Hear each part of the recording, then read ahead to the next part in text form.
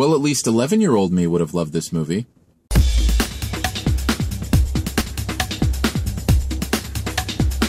Jack the Giant Slayer is the name of the movie. Bryan Singer directing it, uh, bringing it to us. Story of Jack and the Beanstalk, and kind of delving a little more into the mythos of who the giants are and what their land is like, and who Jack is and what his past is like, and the princess, and what happens when they plant a magic bean and the beanstalk grows and they find themselves in the world of giants. We know the story, right?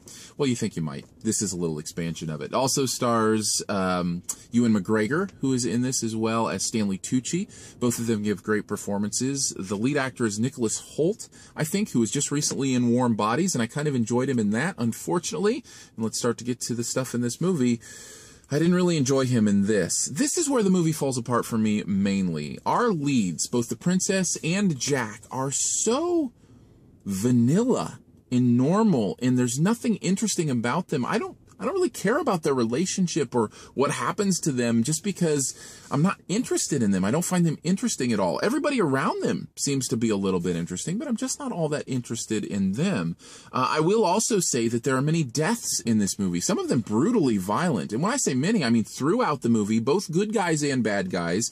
The problem with this is, is not that people are dying, it's that they don't serve much of a purpose there's not much emotional resonance in the deaths that happen in this movie because many of them happen before you really get to know the characters that are dying, both the good guys and the bad guys. So it's almost, you know, just death for death's sake, which is interesting in a movie like this because that's not what it's necessarily supposed to be about. There are some good things to say about this movie, though. Uh, the visuals are pretty incredible. Some of the effects, especially the beanstalk effects, are really, really cool. This beanstalk feels like it's both a living sentient being, like it's doing stuff on purpose, but it also feels very natural, like it's just growing. They strike a really good balance between natural and purposeful that I found really interesting with the beanstalk effects. I think they deserve props on that.